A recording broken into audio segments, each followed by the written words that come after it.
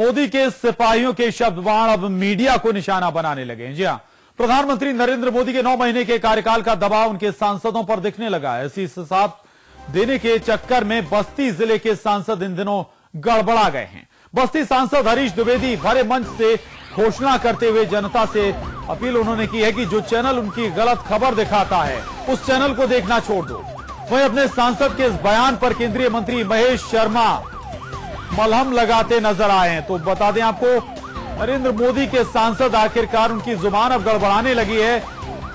बस्ती से सांसद हरीश द्विवेदी का बयान आया है कि आखिर जो वे जो चैनल उनके खिलाफ गलत खबर दिखाता है, उस चैनल को देखना छोड़ दो। ये कहना हरीश द्विवेदी का है। सांसद है बीजेपी के हरीश द्विवेदी, उनके ज़रिए ये हैरान करने वाला बयान आया है कि जो चैनल मेरे खिलाफ गलत खबर दिखाते हैं, उस चैनल को देखना छोड़ दो। यानी कि आपके खिलाफ अगर कोई चैनल खबर दिखा रहा है तो उस चैनल को देखना छोड़ दीजिए। हरीश द्विवेदी का ये बयान आया है। ये बयान हैरान करने वाला बयान है। आखिरकार मीडिया अगर आपकी हकीकत नहीं दिखाएगा तो जनता तक आपकी हकीकत कैसे पहुंचेगी? लेकिन जो हकीकत मीडिया सामने रखता है, चैनल सामने रखते हैं, वो खबर इन्हें गलत नज़र आती है, क्योंकि इनके खिलाफ अगर वो खबर होती है। हरीश द्विवेदी के ज़रिए ये बयान दिया गया है, लेकिन इस पर मल्लम लगाते ज़रूर नज़र आए। महेश शर्मा, जो कि केंद्र में मंत्री हैं। उन्होंने इस बयान पर मल्लम लगाने की कोशिश ज़रूर की। हालाँकि बस्ती से सांसद हरीश द्विवेदी का बयान हैरान करने वाला है। उनका साफ़ कहना है कि जो चैनल विरोध में खबर दिखाता है, उस चैनल को देखना ही छोड़ दो। विरोध में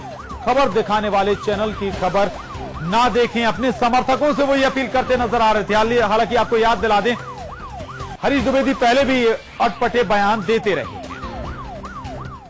निश्चित रूप से मीडिया की जो भूमिका होनी चाहिए वह भूमिका वो नहीं निभा पा रहे कल ये भी दिखाया जाएगा कि ये रैली फ्लॉप हो गई। आप देखते रहिएगा।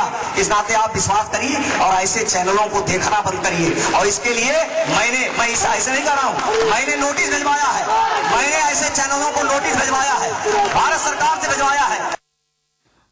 जहाँ हरीश द्विवेदी, सुना आपने, नसीहत दे रहे हैं मीडिया को कि आखिर अपनी भूमिका से विमुख हो गए हैं, दूर हो गए हैं। दूसरी तरफ़ ऐसी तमाम बातें वो करते नज़र आ रहे हैं कि उन चैनलों को ना देखें जो उनके खिलाफ गलत खबर दिखा रहे हैं। लेकिन आपको फिर याद दिला दें ये वही हरीश द्विवेदी हैं जो पहले कुछ और बयान दे रहे थे। भ्रष्टाचार को लेकर भी इन्होंने एक बयान दिया था और वो बयान भी आपको याद होगा। लेकिन फिर जो वर्तमान में जो इनके ज़रिए बयान आया है, जो बात इन्होंने कही है, वो ये कही है कि मीडिया, जी हाँ मीडिया अपनी भूमिका से विमुख हो गया है। यानी कि अब हरीश द्विवेदी चैनलों को उनकी भूमिका याद दिला रहे हैं। बहरहाल, उनका यह कहना है कि जो उनके खिलाफ, जो चैनल उनके खिलाफ गलत खबर दिखाए, उस चैनल को ना देखें।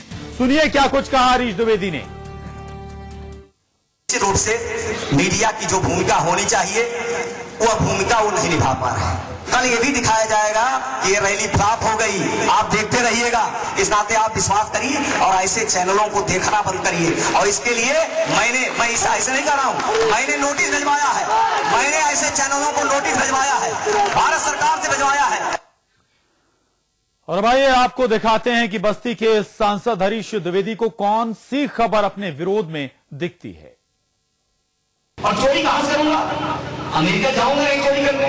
जापान तो जाऊँगा नहीं चोरी करने? चोरी कहाँ से करूँगा चोरी यहीं से करूँगा।